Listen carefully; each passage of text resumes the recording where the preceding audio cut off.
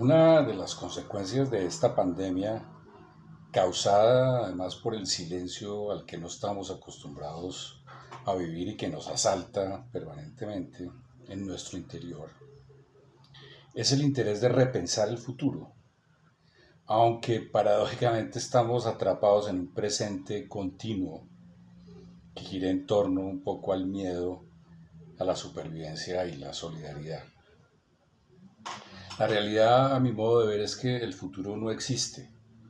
O mejor, el futuro se comprimió de, tal manera por la velocidad en la cual veníamos viviendo el mundo de hoy, en una especie de equilibrio imaginario al cual nos estábamos acostumbrados y que efectivamente la pandemia rompió, eh, que finalmente desmoronó no solo el proceso de hiperglobalización, negativa que vivíamos, sino el propio orden del internacionalismo liberal, institucional y hasta el propio orden de nuestro equilibrio emocional.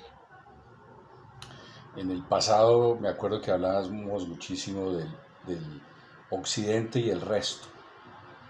Y después a comienzos de este siglo de The Rise of the Rest, juego de palabras era The West and the Rest y, y, en ese entonces hablábamos de Rise of the Rest, The Rise of the Rest, sobre la idea de países emergentes, de ideas emergentes, valores, empresas, formas de vida, no solamente emergentes, sino disruptivas. Lo cierto es que la pandemia ha permitido, no, nos ha permitido, por cuenta de ese confinamiento global, eh, a que aflore, y eso sí lo digo con, eh, sin hacer eh, un sentido metafórico o figurativo, un nuevo sentido de humanidad global.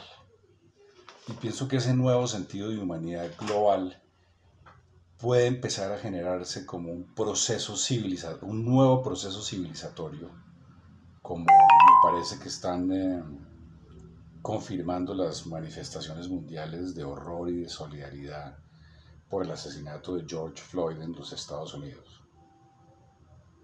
Y lo interesante es que este sentido de humanidad que ha aflorado como consecuencia de ese confinamiento al que nos hemos visto todos, eh, simplemente significa que todos los seres humanos son importantes, que cada ser es importante que todavía vale indistintamente del color, la religión, el sexo, las creencias, y que de algún modo todos somos equivalentes y somos iguales. Sin duda no, no va a ser como antes.